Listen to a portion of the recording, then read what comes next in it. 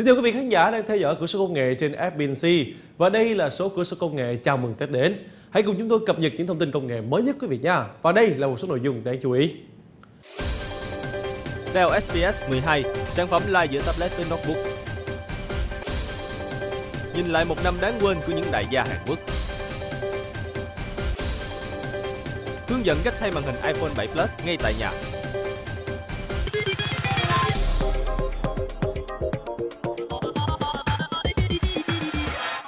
Thưa quý vị, Surface Pro của Microsoft là một chiếc laptop light tablet khá nổi tiếng về Windows. Nhưng thế giới thì vẫn còn rất nhiều những người dùng cảm nhận rằng chúng ta cần một thiết bị có thiết kế độc đáo như vậy. Tuy nhiên, với sự phát triển của công nghệ cộng với quan niệm cần sự đa năng của một chiếc máy, thì phân khúc này quá thật là vô cùng hấp dẫn. Qua đó thì hãng Dell cũng đã gia nhập phân khúc này với sản phẩm đó là XPS 12 vừa được công bố cách đây không lâu. Nhỏ, gọn, nhẹ và thiết kế light giữa tablet với notebook chính là điểm độc đáo của sản phẩm này. SPS 12 9250 là một thiết bị live mới nhất chạy nền Windows được Dell thiết kế đáp ứng được nhu cầu người dùng, cân sự gọn nhẹ cả trong công việc lẫn giải trí.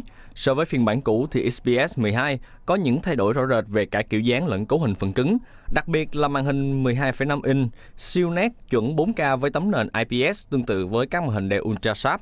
Về thiết kế, Dell cho phép người dùng có thể tháo rời bàn phím và màn hình, tương đương với việc người dùng có thể sở hữu song song một chiếc laptop và một máy tablet. Tuy vậy, sự ra đời của sản phẩm này đã khai tử đàn anh đi trước của nó có màn hình xoay 180 độ. Dell đã sử dụng thiết kế dạng đế cắm và đi kèm chiếc bàn phím, kim lớp vỏ bảo vệ chống trầy xước cho sản phẩm mới này. Nhờ vậy mà người dùng có thể tùy biến sử dụng như chiếc laptop truyền thống trong công việc hoặc tháo rời bàn phím khi xem phim giải trí hoặc chơi game. Máy được tích hợp hai cổng USB-C và nhờ đó giúp cho người dùng có thể dùng bất cứ cổng nào để cắm sạc. Ngoài ra, máy cũng tương thích với các cục sạc di động. Đây chính là một trong những các tính năng nổi bật của Dell XPS 12, giúp cho người dùng có thể mang theo sạc di động và không cần phải băn khoăn khi máy hết điện hoặc kiếm chỗ để cắm điện. Bàn phím và touchpad của XPS 12 9250 cũng được cải thiện để mang đến người dùng trải nghiệm tốt nhất. Với một số phím chức năng, bạn chỉ việc nhấn và giữ thêm phím Fn khi cần sử dụng, tương tự như Elite X2 của HP. XPS 12 mới cũng kèm bàn phím và người dùng có thể mua thêm bút cảm ứng ActivePen tùy vào nhu cầu sử dụng. Trong khi đó thì Microsoft Surface Pro 4 thì ngược lại, bạn phải mua tip cover và có sẵn bút vẽ. Về cấu hình phần cứng, XPS 12 mới trang bị chip Skylake Core M7 6i75 được Intel thiết kế nhấn mạnh vào khả năng di động của thiết bị hơn là về hiệu năng. Các thành phần khác bao gồm 8GB LBD RAM 3 và đặc biệt là SSD chuẩn M2 dung lượng 512GB. Có thể nói đây là phần ưu cũng như nhược điểm của máy này, bởi được trang bị chip máy bàn và có hệ thống lưu trữ khá rộng rãi và bộ nhớ RAM mạnh. Dell XPS 12 có thể đáp ứng được hầu hết các ứng dụng giải trí di động và có tốc độ đáp ứng khá nhanh.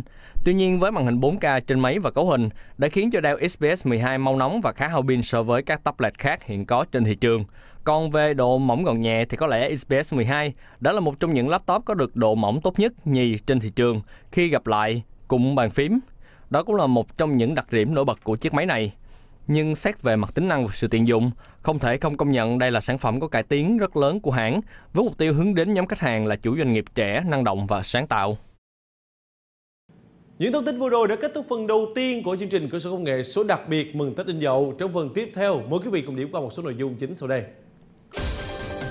Máy chơi game Live Nintendo Switch sẽ chính thức ra mắt vào ngày 3 tháng 3. Apple nâng giá ứng dụng tại Anh vì đồng bảng Anh giảm giá.